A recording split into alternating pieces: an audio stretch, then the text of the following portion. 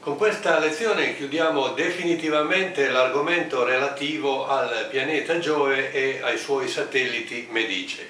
Infatti in questa lezione parleremo dell'ultimo satellite mediceo in ordine di distanza da Giove che si chiama Callisto.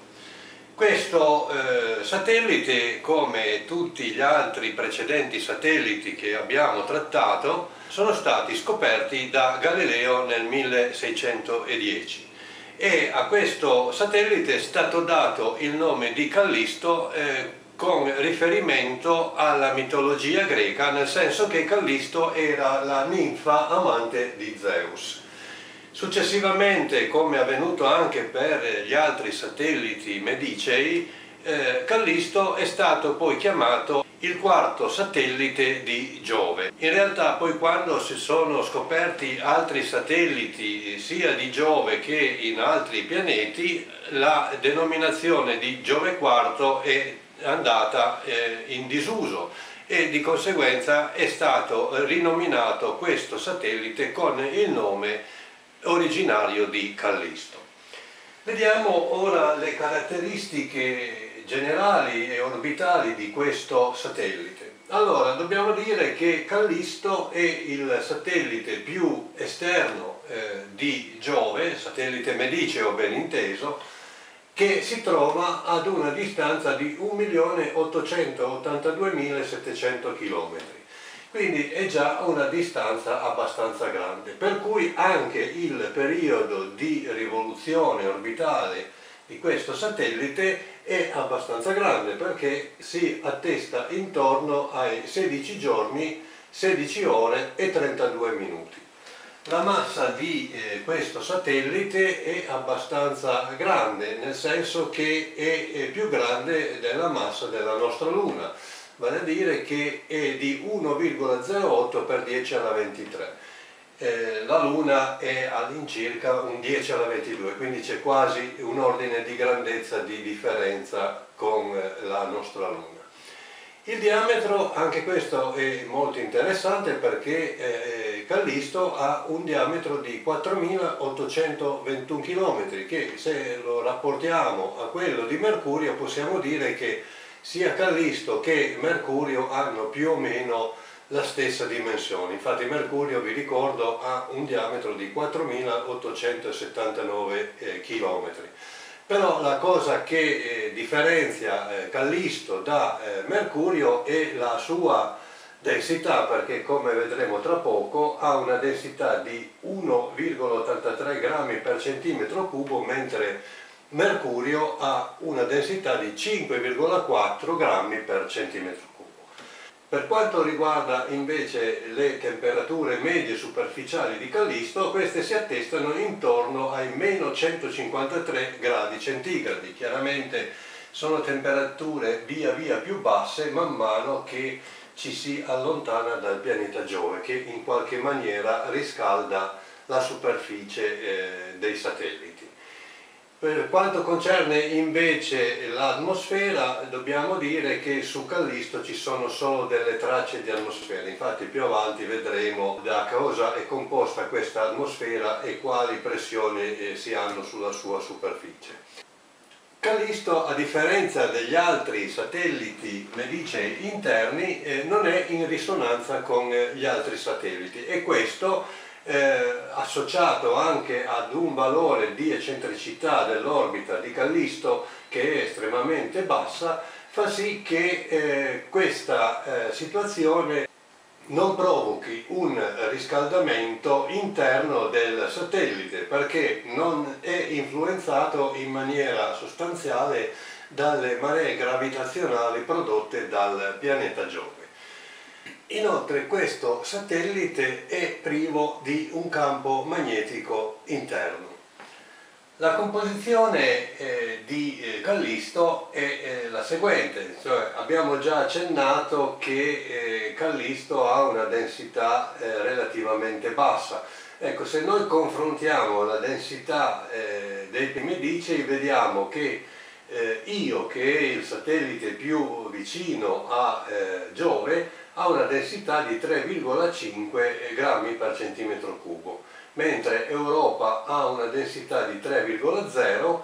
Ganimede 1,9 e Callisto come vedete qui 1,83. Ecco, vedete subito che i primi due satelliti medicei hanno una densità eh, paragonabile quasi a quella di un pianeta roccioso, perché eh, abbiamo detto che Mercurio ha una densità di 5,2 e qui siamo su 3,530, mentre si ha subito un calo sensibile per gli altri due satelliti più esterni, cioè eh, Ganimede e Callisto, 1,9 e 1,83 grammi per centimetro cubo. Eh, la superficie di eh, Callisto è costituita in egual misura da ghiaccio d'acqua e da roccia dove eh, la roccia è costituita sostanzialmente da condriti e ossido di ferro. Il ghiaccio è praticamente presente su tutta la sua superficie e la sonda Galileo che è arrivata nel 2003 nei paraggi di eh, Callisto ha messo in evidenza degli elementi non ghiacciati come l'anidride carbonica e il biossido di zolfo. Come abbiamo già accennato per Ganimede, eh, la superficie di eh, Callisto è divisa sostanzialmente in due emisferi, un emisfero scuro e un emisfero chiaro, solo che a differenza degli altri satelliti medicei più interni, l'emisfero scuro è rivolto nella direzione del moto orbitale, cosa che avevamo visto non essere per quanto riguardava Europa e, e Ganimede, che mostrano una eh, faccia più chiara nel senso della eh, rivoluzione del satellite intorno a Giove. Qui avviene esattamente il contrario. Eh, l'emisfero scuro è costituito in buona sostanza da anidride solforosa, mentre l'emisfero chiaro è costituito da anidride carbonica. E eh, pare che eh, questa superficie sia stata generata da crateri di impatto che hanno portato appunto in superficie l'anidride carbonica allo stato ghiacciato e quindi con un effetto di maggiore brillanza superficiale. La superficie eh, di eh, Callisto è la eh, superficie più butterata che ci sia in tutti i satelliti medicei e sovrasta la litosfera ghiacciata che dalle ultime osservazioni pare sia spessa addirittura 150 km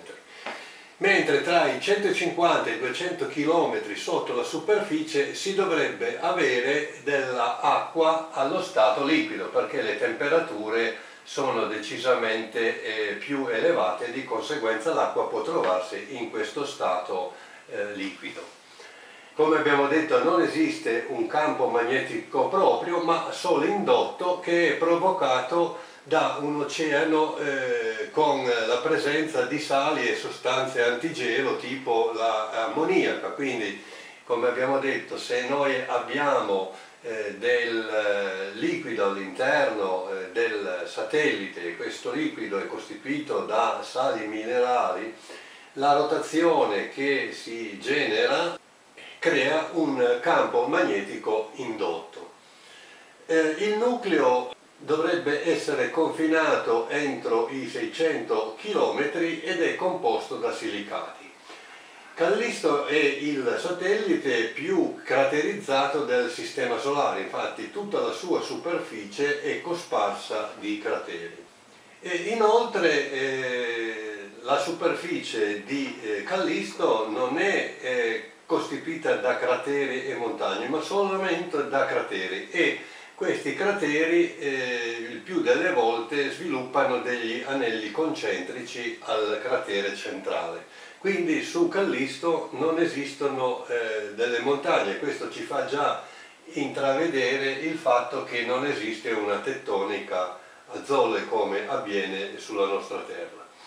I due grandi crateri che eh, sono stati osservati sulla superficie di Callisto eh, sono chiamati rispettivamente Valhalla che è un cratere avente un diametro di 600 km ma i cui anelli concentrici si estendono fino a 3600 km e l'altro cratere che si chiama Asgard che ha un eh, diametro complessivo compresi gli anelli concentrici che si estende fino a 1600 km. Inoltre sono state anche eh, osservate delle catene di, di crateri e questo probabilmente è dovuto a impatti successivi di eh, frammenti di asteroidi che sono piombati sulla superficie di eh, Callisto. Il G-Pool catena è una di queste catene di crateri che si trovano praticamente allineati secondo una retta. La crosta eh, di Callisto eh, è stata valutata con un'età che si aggira intorno ai 4,5 miliardi di anni, più o meno come l'età della nostra Terra. Veniamo ora all'atmosfera di Callisto. Come abbiamo detto abbiamo una eh, debolissima atmosfera e i componenti essenziali di questa atmosfera eh, ci hanno mostrato, grazie alla sonda Galileo, che eh, abbiamo della presenza di anidride carbonica. Però le pressioni sono estremamente basse sulla superficie di eh, Callisto perché si attestano a 0,75 micropascal e la presenza di questa seppur debole atmosfera non sarebbe compatibile eh, se non ci fosse una reintegrazione continua di questa atmosfera. E pare che questa reintegrazione continua eh, dipenda dalla sublimazione dell'anidride carbonica che continuamente aumenta l'atmosfera del satellite Callisto. Quindi mentre parte dell'atmosfera di questa debole atmosfera si disperde nello spazio, altra viene rinnovata dalla sublimazione dell'anidride carbonica. Inoltre è stata anche verificata eh, la presenza della ionosfera con eh, della composizione di ossigeno molecolare, però eh, questa è diciamo più che altro eh, una supposizione ma non ancora suffragata da dati scientifici certi. Per quanto concerne invece l'origine e l'evoluzione di questo eh, satellite, eh, dobbiamo dire che è avvenuto in maniera analoga agli altri satelliti medici, cioè praticamente si è avuta una creazione della subnebula e quindi le polveri presenti nel disco protoplanetario che girava intorno a Giove hanno eh, praticamente generato il eh, satellite Callisto. Questo satellite eh, è leggermente diverso dai precedenti perché è solo parzialmente differenziato e questa parziale differenziazione è dovuta sostanzialmente al mancato riscaldamento che ha avuto questo satellite nelle epoche eh, più lontane. La formazione di questo satellite pare che sia avvenuta tra i 10 alla 5 e i 10 alla 7 anni, quindi fino a 10 eh, milioni di anni eh, dall'inizio del sistema solare, per cui è stata un'evoluzione abbastanza veloce e questa evoluzione è stata determinata dall'equilibrio tra il riscaldamento radioattivo che eh, è proprio interno del eh, satellite e il raffreddamento superficiale che eh, chiaramente si è verificato. Sotto la crosta, sotto la superficie, è stato messo in evidenza un oceano a una profondità che oscilla tra i 100 e i 200 km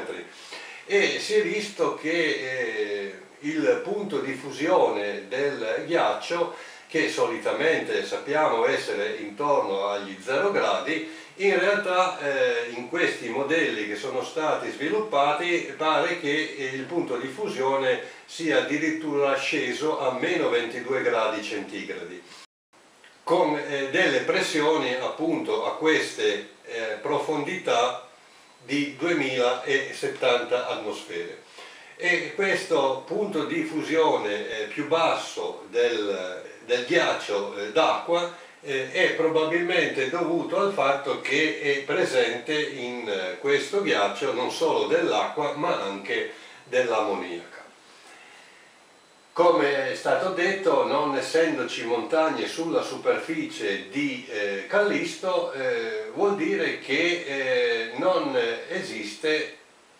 una tettonica placche come abbiamo sulla Terra, quindi non si ha una, eh, un movimento della crosta eh, superficiale in maniera tale che nel corso dei milioni di anni abbia potuto creare addirittura delle catene montuose.